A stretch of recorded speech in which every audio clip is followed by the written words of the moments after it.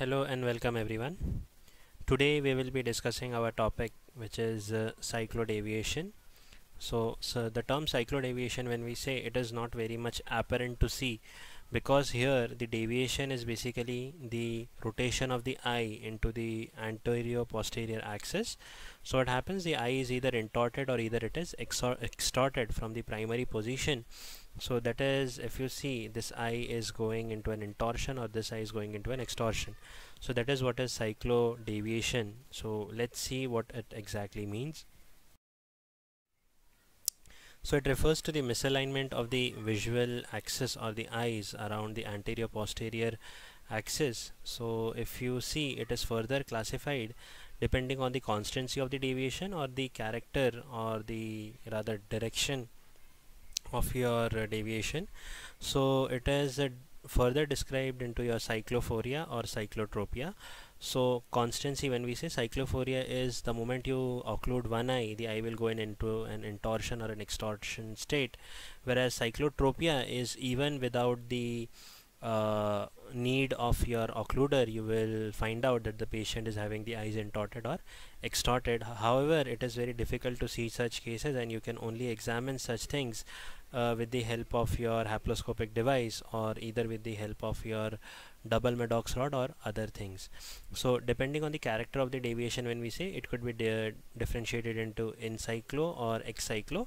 So the term excyclophoria or tropia means that the 12 o'clock position of the cornea will rotate uh, temporally or the outward from the primary position whereas encyclotropia means the inward rotation of the eye so this is the first example which is your excyclotropia and this is the second example which is your encyclotropia. Coming on to the etiology so the etiology is with the sixth condition which they commonly say. It is either because of the paresis or the paralysis of the cyclovertical muscles which are responsible for the intorsion or the extorsion so you can see an uh, encyclotropia or an excyclotropia if at all there is a paralysis of your superior or inferior oblique uh, it is also seen in dissociated vertical deviation, also seen with A or V pattern horizontal strabismus, horizontal deviation with simple hyperphoria, or when the surgical uh, correction is done with the help of the recti or oblique muscles. So what happens? These start overacting or underacting which could lead to the intorsion or extorsion and there are some other conditions which are again responsible which include your endocrine ophthalmopathy myasthenia gravis and plagiocephaly so these are all related to your neuro uh, uh, neuro conditions. So these can also uh, result to your cyclodeviations now coming on to the clinical characteristic when we say there is first thing which is commonly seen is cyclofusion. So what do I mean by the term cyclofusion? That when you do it with a double Maddox rod when you break the fusion you will find out that there is a presence of cyclophoria or cyclotropia but when the patient has been given similar stimuli in both the eyes what happens? That the brain tries to superimpose the image and make it fused with the help of a cyclofusion. It is similar to what you can say like when we do convergence and divergence to fuse. So what happens? The eye can also intort and extort to fuse your two different images into making it single. So cyclofusion is seen in such cases when the amount of deviation is very less suppression in ARC if you are unable to do the cyclofusion what happens that the eye which is into an intorted or an extorted state will start suppressing itself. So the moment it will suppress the diplopia will go off or what will happen the fovea which is uh, situated as the retinomotor 0 will be displaced or a new point in the retina will be taken as a fovea taking into the state of abnormal retinal correspondence also you can see this suppression which can be seen in more peripheral or where the uh, intorsion or extorsion is more present. Uh, there is some of the physiologic adaptation. When we say the term physiologic adaptation what happens that uh, they compensate the image tilt with the help of your uh, uh, spatial orientation. So what happens if you see this is the intorted eye. So v1 h2 v2 and h1 are the actual axis. But the image is placed this way. So what happens? That the patient should actually see a intorted image something like this because of the intorsion or extorsion but what happens? That as the patient has developed a neurophysiological basis of the orientation and turning it into a proper uh, position the patient will perceive it as a proper cross. So let it be whatever is being perceived by the retina because of the physiological adaptation what happens is that the patient doesn't perceive the tilt of the image and can see all the images properly. So this is what happens. Also there are some of the psychological adaptations. Uh, it is basically that uh, the spatial clues which are present. Now for example you have a good memory that how a window looks or how a particular door looks. It is not tilted. It is straight. So because this memory has been imprinted into your brain your brain already knows that the window cannot be tilted. It is always straight. So though even the image is being perceived uh, as tilted the brain will perceive it as straight. So this is a psychological adaptation which is seen in this patients. So whenever a new object is given to them they might say that there is a tilt. But whenever there is a memorable object which is given something which they have seen previously they will say there is no tilt present coming on to the diagnostic test there could be either a subjective or an objective test. So subjective means wherever the patient will also give a feedback whereas an objective is where the examiner will see how things are changing. So in subjective test we have double Maddox rod double Maddox rod test uh, double prism and Maddox rod test Bagolini striated lens test and Lancaster's red green test. So these are all subjective tests whereas in objective with the help of ophthalmoscopy you can see a tilt in the uh, retina uh, a fundus photography a monocular visual field testing. So what is double Maddox rod test? What we do here is we with the full refractive correction we keep one eye with a red Maddox rod and one with a white Maddox rod so if you see in this image there is the right eye has been having a red Maddox whereas the left eye is given a white Maddox and we ask the patient if the patient and see two lines so and then we asked how the lines are uh, inclined at each other. So if the patient doesn't have any torsional deviation he will say both the lines are parallel to one another. Whereas if the patient say there is a tilt in the image that means there is a torsional deviation present. So if the line is tilted onto the right hand side it goes down it is right encyclotorsion. If it is on the left hand side it will say the right excyclotorsion okay? So depending on which line is tilted or the color of the line that will depend that right eye or left eye which one is affected.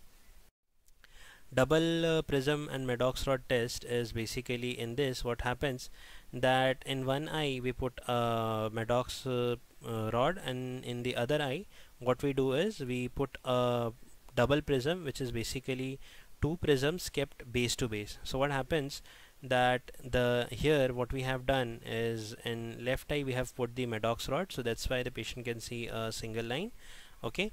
And uh, what happens is your uh, the other eye uh, is having two different um, stimuli because of the biprism. So what happens the prism makes one single image as two different images so patient can see a total of three line. So in here the patient is kept with left eye as Maddox and right eye with the prism. So this is how the patient sees okay? So if the vice versa is done for example in this case uh, we have kept the right eye with the Maddox and uh, left eye with the biprism so the patient if he has a right encyclophoria he will say there is a right side inclination if it has a right excyclophoria he have, will have a ex, uh, this kind of interpretation. In case of no cyclophoria he will say all the three lines are parallel to one another. Okay? So in terms of encyclophoria you will see that in that particular side the line is going downwards. In excyclophoria the line will go upward. Bagolini striated lens test. Here basically we show a pen light to the patient and because of the Bagolini striation he will say to cross and in presence of any vertical deviation he will say that the tilting of the line is seen in the uh, actual observation.